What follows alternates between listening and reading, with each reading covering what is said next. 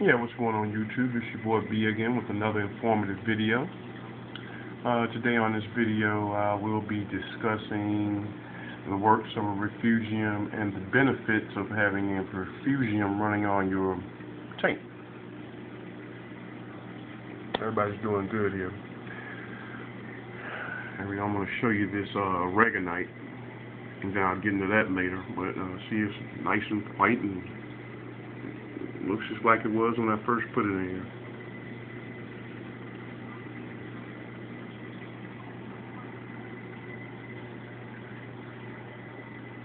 Alright.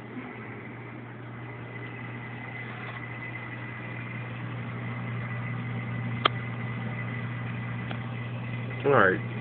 Refugiums are basically relatively new to uh, the hobby if we look at the hobby as a whole, refugiums are basically the newest form of filtration to uh, reef tanks or FOWLR tanks, for that matter. And the refugium functions at full capacity when you have your deep sand bed over four inches. You have uh, good, good quality live rock. Doesn't have to be the purple stuff. And an appropriate size of chaetomorpha. Now, at first, I, I had a piece of live rock and a softball size piece of chaetomorpha. Now, the refugium, the deep sand bed works in the refugium. You have uh, two different types of bacteria that work here and also you have little critters, little pods, different types of little pods. And the first couple of inches of the sand bed have what's called anaerobic bacteria. No, not anaerobic, aerobic bacteria, my bad. The anaerobics are a couple of more inches down, but they're aerobic bacteria, high oxygen bacteria. And within these high oxygen bacteria, this is where the critters hang out at and consume the nutrients in your tank and release it as a least harmful uh, chemical, nitrite.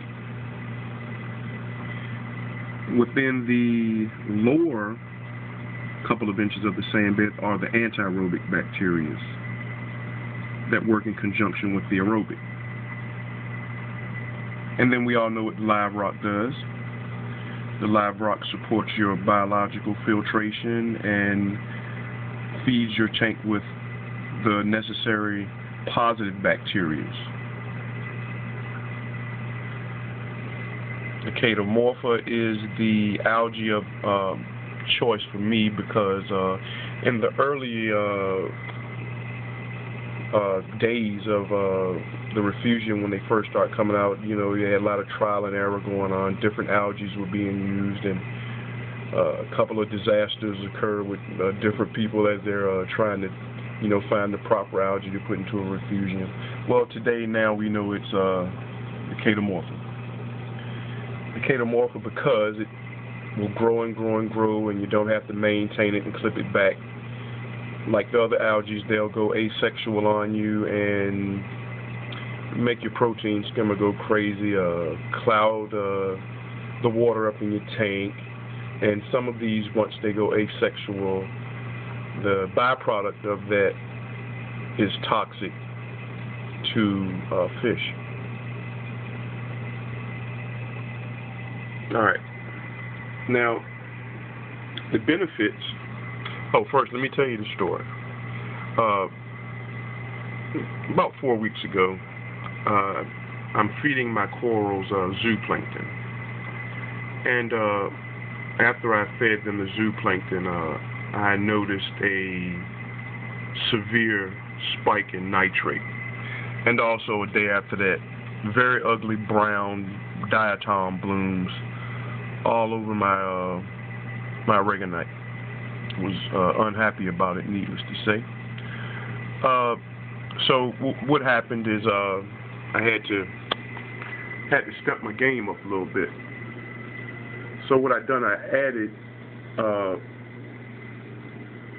15 more pounds of live rock to my refugium and increased the softball size and purchased a football size piece of chaetomorpha. Within 48 hours of introducing the 15 pounds of live rock and the chaetomorpha into the system, uh, the nitrate levels that were in my tank went from 30 all the way back down to 5. And I haven't tested it since then, but it's probably now at zero. And I say that because, uh, you know, if you remember, I had an earlier video of this protein skimmer. Uh, and the protein skimmer in that video was working very hard. Well, the protein skimmer is tuned in, dialed in just right, and it's not working hard at all because of this biological filtration right here.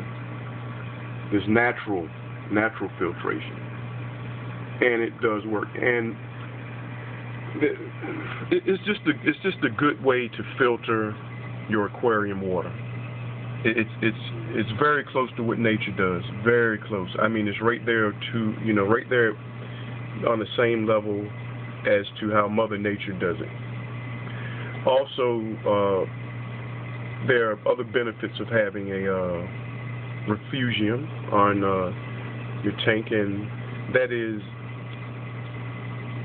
it puts trace elements back into your water constantly, and also helps regulate your your pH in your aquarium. I was I had pH problems in uh, the past before I did this, and it did stabilize it. It, it stabilized it. Now, uh, what I'm going to do here, I'm going to see if you can see it. I'm going to allow this chaetomorpha to grow the full length of the refugium and totally cover the live rock. And then once this has occurred, I will uh, trim it back to about this size and let the process uh, occur again.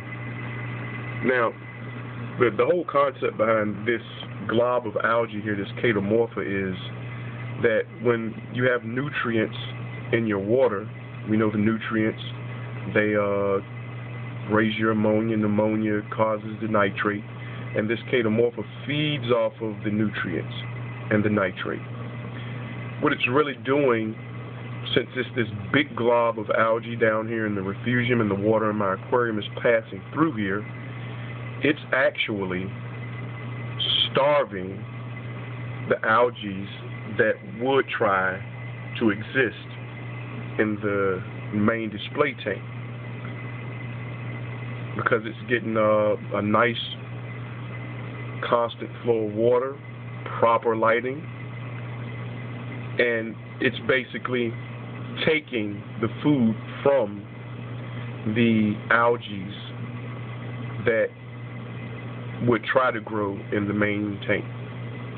And that's what it's doing. Because I've seen a significant size change in, well, now uh, four days. It's grown. Also, uh, concerning how much light you should give your uh, refugium, there are two schools of thought uh, the first school of thought says keep your lights on 24-7 and just allow the chaetomorpha to continually grow. The second school of thought is try to mimic Mother Nature best you can. Well, I'm, I'm with the second school of thought. Uh, mine runs on a reverse cycle from my uh, display tank.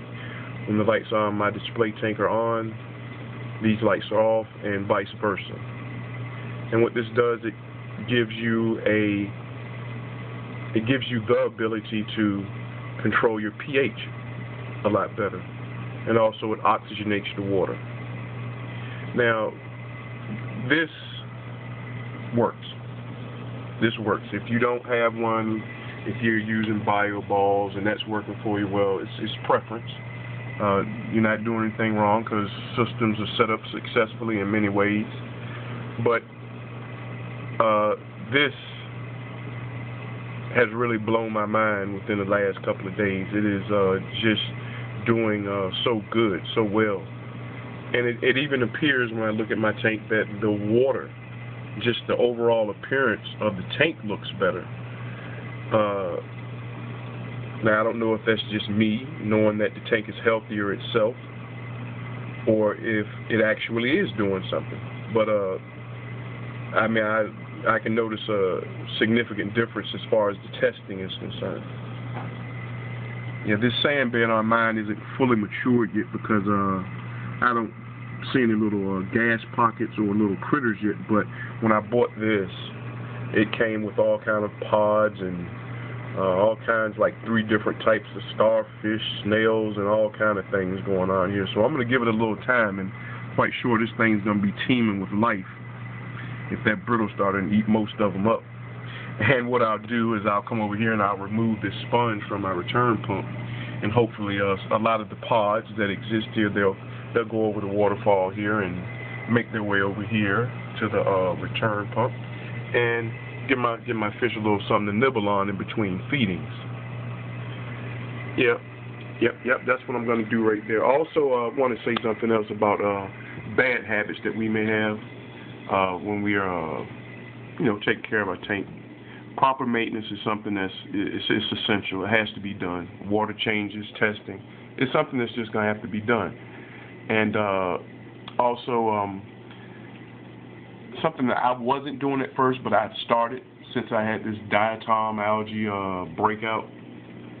Uh, when you add these uh, frozen foods to your your system, you want to put them in a net and run hot water over them and thaw them that way. So all of that nutrients, that liquid that would come from the thawing process isn't introduced into your tank. because that's not going to be eaten or cleanup crew's not going to be able to get to it. No fish is going to get it. It's gonna, it's just going to fuel algae in your tank. And uh, I don't know. Some people feed every day. Some people feed twice a day. I feed every other day. My thinking is uh, they're not going to die.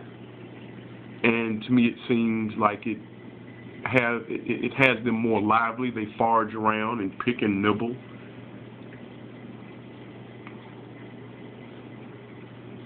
So I feed every other day. I introduce less nutrients into the water when I feed every other day.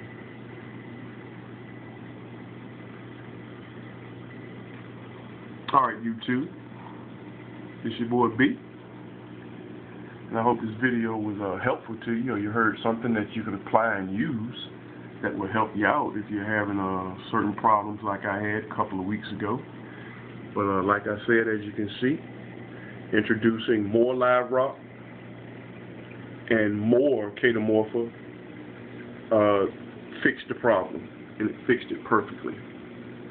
Things are back to normal now. And you know, most problems that occur in our tanks, they're they're us that cause them.